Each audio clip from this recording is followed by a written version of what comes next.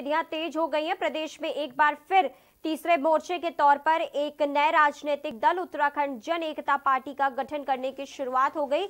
इसके लिए बाकायदा रूपरेखा तैयार की जा रही है और सबसे सुझाव मांगे गए। इस नए राजनीतिक दल के गठन को लेकर पूर्व पर्यटन मंत्री दिनेश धनय महत्वपूर्ण भूमिका निभा रहे हैं और दिनेश धनय को केंद्रीय अध्यक्ष बनाया गया। अभी पार्टी गठन की प्रक्रियाओं और औपचारिकताओं को पूरा किया जा रहा है। संभवतः इस दल का गठन दिसंबर लास्ट या जनवरी तक हो जाएगा। पार्टी गठन को लेकर आहूत बैठक में पूर्व मंत्री दिनेश धने ने कहा कि जनता के सहयोग में पार्टी राज्य में तीसरे विकल्प के रूप में उभरेगी।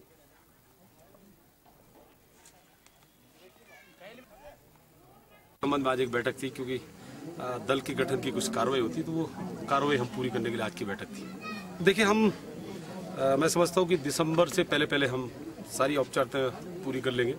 और, हो सकता है जनवरी में हम पार्टी का अधिवेशन बुलाएँ, जब हमारा रजिस्ट्रेशन हो जाएगा। तो हम संभवतः इसको जनवरी में पार्टी को लॉन्च करें